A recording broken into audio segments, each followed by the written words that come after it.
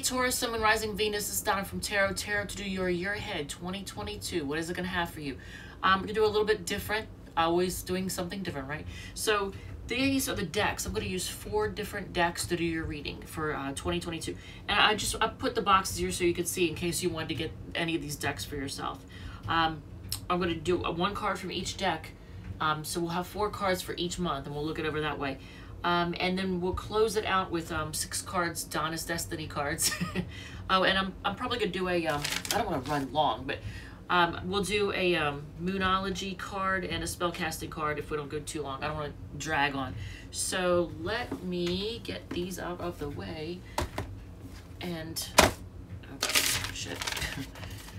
and get started. All right, so let's get started. So January. For January 2022 for Taurus, Sun, Moon, Rising, and Venus. So it looks like you're going to be a little more patient. Um, that's good. Um, some traveling. You're going to walk away from something that is emotionally unfulfilling and um, have ending and new beginning. So you're going to start a new chapter in love or something that, you know, for emotional fulfillment. Right. So that is January. So traveling, being more patient, walking away from something, and starting a new chapter in love. Interesting, because in February it looks like you're going to be. Looks like wish fulfillment, actually. So something is actually. Well, are you going to be realistic about it though? Because the Seven of Cups shows lots of options, possibly. Um, wish fulfillment, what makes you, um, which, you know, is making you very, very happy, what you've always wanted. Um, and then you waiting for your ships to come in, waiting for things to uh, pan out, you know, see how things work. But you're going to be very spicy with people, um, very, very upfront and very honest and not hold back. So, let's see. Hopefully I'm not going too fast either. I just didn't want to drag on because, I mean, these year-long reads can take forever if you're not careful. Um, so, there it is again. The Seven of Cups and the Seven of Cups. Okay, so we've already got a theme. So, lots of options or unrealistic thinking. March. And this is interesting because March in the United States, um, a lot of people uh, celebrate St. Patrick's Day, which involves lots of drinking and overdoing things, right? What do we have for March? The temptation card. It's like the devil card.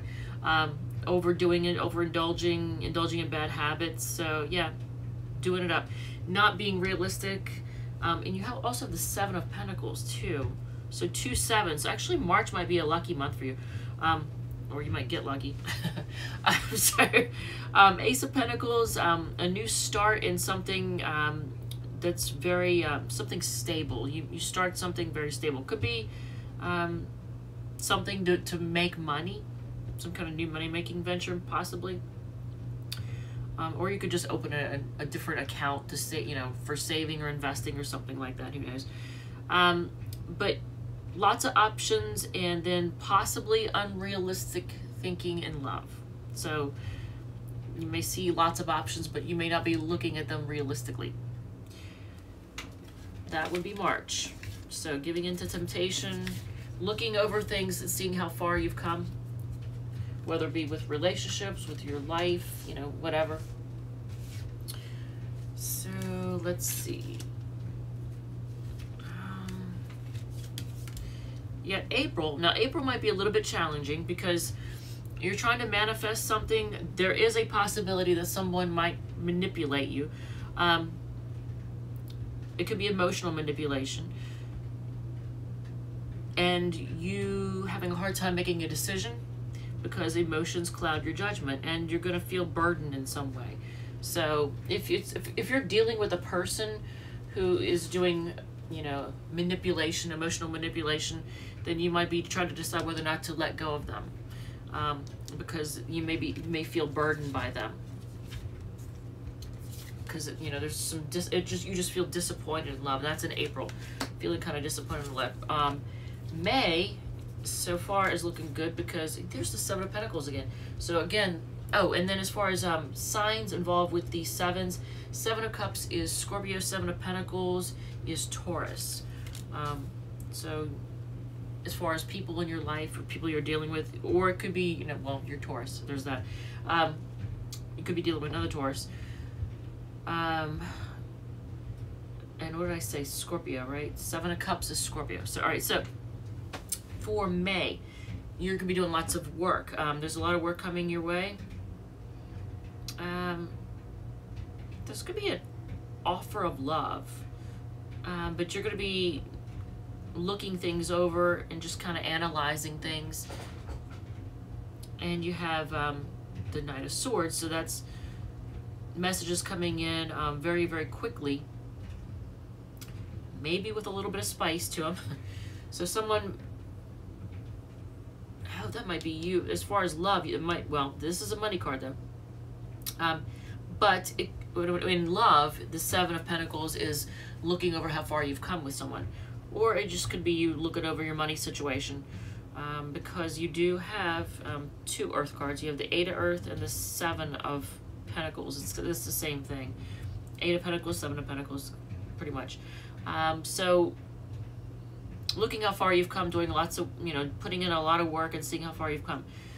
So I think money may be doing pretty well in May. It looks like you're definitely getting a love offer from someone, but it could be someone really young or that someone just acts young. Could be someone who's immature. Um, so June, June you have um, fast movement, but you're gonna feel burdened. There's that Ten of Wands again. So Ten of Wands would be a, a Sagittarius card. And there's the King of Swords. Um, Nine of Wands. So, oh, so there's to be a lot of activity in June. Um, maybe a lot of passion. But you're going to be cautious. Um, maybe, yeah, there's to be fast movement, but you're going to feel like there's to be kind of a burden. And there's going to be, you're going to be very clear about what you want. Very clear about a lot of things. But you're going to be cautious. You are going to be cautious in June. July is looking... How the hell do you have... Okay. July, you may be experiencing some heartbreak. Because there's this, okay? But that was after I pulled this, which means the same thing for the most part in the Good Tarot.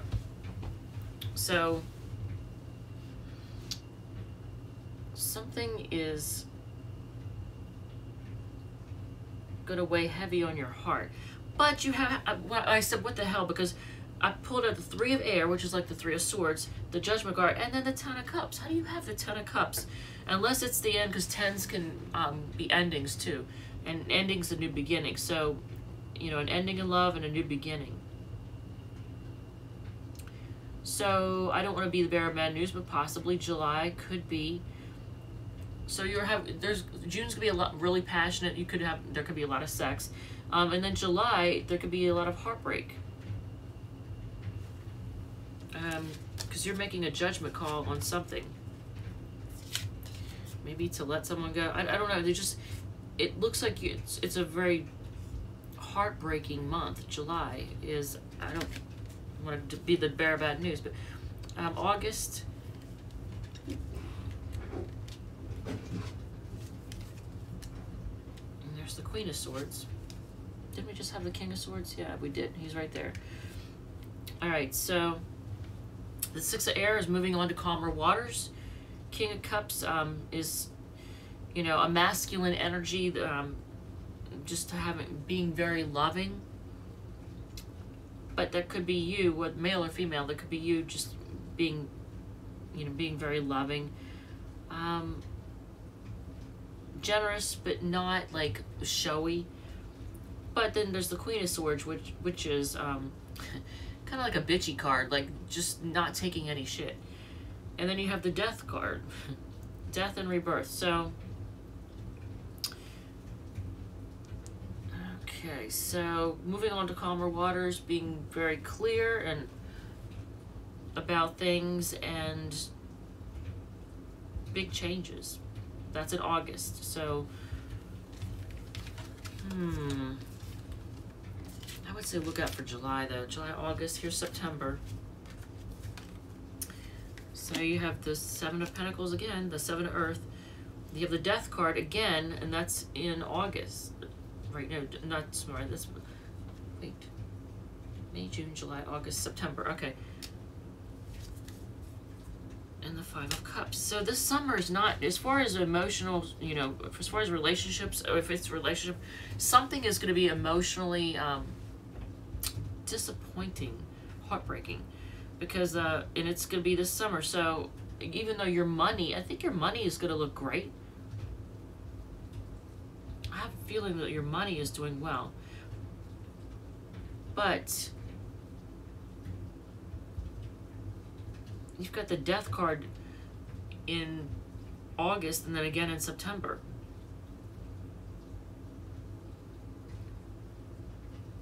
And the Five of Cups in September and the Seven of Earth looking things over. Uh, but you have the Knight of Cups too, so you're gonna get. I think you're gonna have an offer of love coming in. And you know, it might just be in September. You're gonna change the way that you look at things. Your your perception of how you go about doing things. You're gonna change.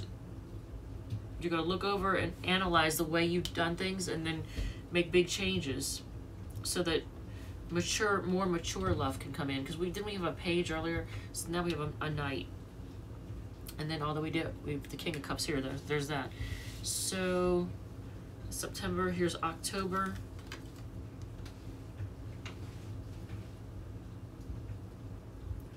Nine of Earth. October, you're. It looks like you may be single for a minute, but you're gonna be taking a risk. So get that. Hangman. Okay, so you have the Nine of Earth. That's like the Nine of Pentacles. Um, the card of being single and having it all and being just happy on your own and not needing anybody else. Um, but the Five of Pentacles feeling poor um, and feeling like you're lacking. So then, and feeling stuck and then just saying, fuck it and taking the risk. So that's in October.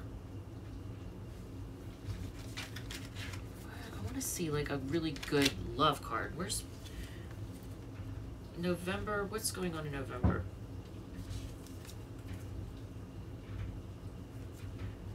There's the Fool card again. So there's you taking that risk. The King of Cups. So we had the Knight of Cups here, and then with the King of Cups here, and the Two of Cups. Okay, so November is looking a lot better for love. Now, you do have the Four of Water, uh, so that's sometimes that's like apathy or boredom but you have the Fool card again where you're taking a risk. You have the king of cups and then you have the two of cups. And I did say, when are we going to get something good for love? So November looks really good for love. December, Jesus. Um, maybe this is what you get when you do four different decks. Oh my god, yeah. So someone, December, you're going to, um, you are going to be fighting with someone who's very, very passionate um, and very tempting. But they're gonna they like to fight and argue, and you're gonna want to walk away. This is December. You're gonna want this this time next year. You're gonna want to walk away from um, something that's not emotionally fulfilling. It's passionate. It's hot and sexy, but there's just too much arguing and bickering, and that is in December. Is there anything good? What's good? What do we have that's good? First of all, let's do an oracle card or two because holy crap, man. It's your your year is up and down, up and down, up and down. Um, I'm not a big fan of your July. the, I mean, financially things look good, but with the love situation, not so much. Have faith in your dreams. And what else? But I want to like just ask the cards what good things are coming your way in 2022. Passion. so Have faith in your dreams and passion. It says the waxing crescent moon. All right, so what kind of good things? How can we read these as good things? Um, oh, there's going to be, oh, I like this. So there's going to be a spirit of teamwork. Oh, there's the Five of Swords. Always got a good something good and then something coming along to shit on it. All right, so you have the Three of Water. That's like reconciliation and happiness. You have the Hermit. So, you know, you may be spending some time alone but you know, seeking out answers. But you also have the Three of Pentacles. Oh damn! I hope that's not a three is a crowd. You know what I'm saying? Because um, then you have the Five of Swords, and that's fighting, being on, and just being stressed.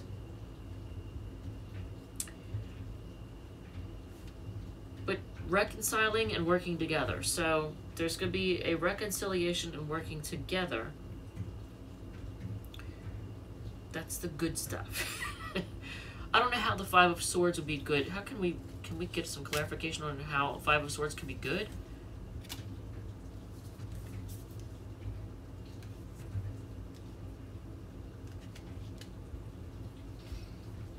Unless you're trying to avoid fighting by putting your throwing yourself into your work and things that you feel passionate about. Okay, that's cool. So, putting yourself into your work and doing things that you feel very passionate about. Um, working on some kind of whether it's a project, um, maybe a business that you're starting or something, something. Putting a lot of work into something that you feel passionate about. So to avoid being all up in your head and let your thoughts run away with you. What is this Ten of Pentacles? Not ten. Oh, that's an interesting way to put that. It's a Three of Pentacles, but I looked at it and said, what's this Ten of Pentacles? So what is this Three of Pentacles about? Um, working together with someone that maybe pushed you away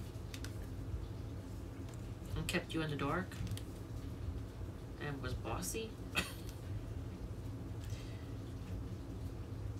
Um, hopefully you don't find yourself dealing with somebody that is dealing with someone else as well. There may be, hopefully there's not a third person. Um, that you're, you know, you're dealing with someone who is a third person. What's the three of water?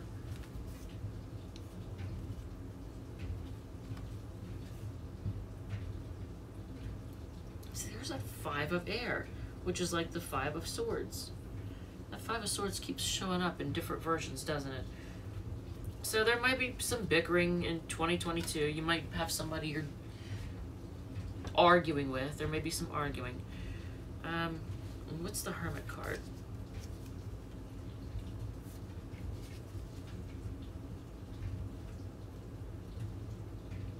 Hmm. And that's a Taurus card. So you have the underneath the hermit, the, the Ace of Swords and the Six of Pentacles. So you may be seeking answers and getting some clarity. Um, to just balance things out. Maybe that's what the uh, the Three of Pentacles is all about, working together to try to bring things into balance. Um, know if this has provided any clarity whatsoever.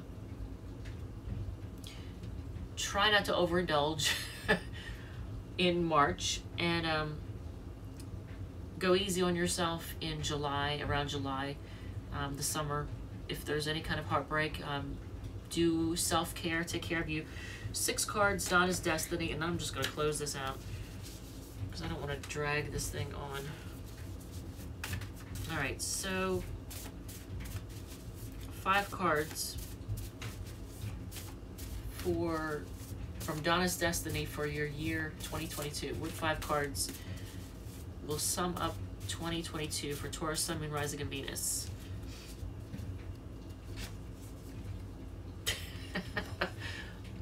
well, wedding bells. Um, that's interesting. Maybe that's who you're gonna be fighting with. Flirt more. Oh yeah, thank you. Thank you to everyone who has hit like, share, and subscribe. Feel free to hit like on this one. Um, when you hit like, it gets the videos out further. Um, lots of people desiring you. That's an R. and you need rest, take a break. So you've probably been burning the candle both ends too, huh? And a new look. Uh, bottom, oh, watch your driving. That's the bottom of the deck. All right, Taurus, I hope this has helped. Um, feel free to hit like, share, and subscribe. I love you guys, and I will see you in the next read. All right,